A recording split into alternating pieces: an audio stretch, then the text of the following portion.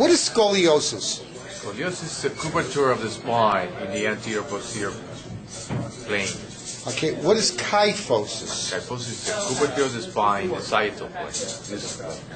Is that like the uh, Notre Dame, the hunchback of Notre Dame? Did he, did he have a kyphosis or scoliosis? Ky- kyphoscoliosis, he had both. He had a little bit of both, but that hump would be, No, was the kyphosis. that was a kyphosis. It be curved to the left to the right? Will be the scoliosis. That can be with a hump, with a different hump.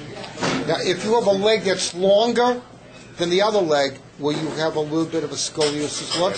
One of the things you have to do when you see a kid with scoliosis, is be sure that you have a leg-length discrepancy because that produces scoliosis that will resolve only to put in something in the leg that is uh, shorter than the other one. What's the most common age that you would have concern for scoliosis? The most common age between adolescent kids. Adolescent. What, what about what time would that be? In females, 12 years old, that's the uh, mean average age they do the, uh, they have the period. And in males, uh, 14 years old. 14 years old? In males. And a doctor at a routine exam should be looking for it, watch how the kid walks, how he bends the spine, if it turns a little bit to the left or to the right. Right.